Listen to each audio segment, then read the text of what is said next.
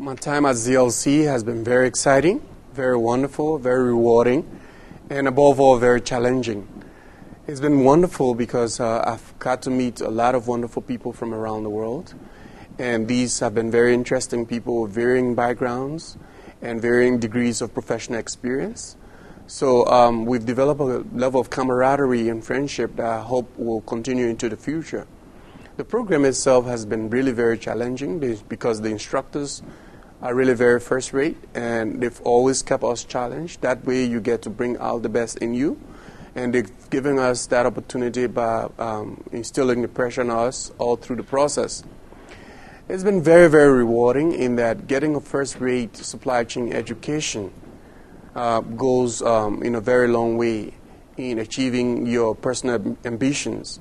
And above all, it makes you very self assured of whatever is it you want to do in supply chain and logistics.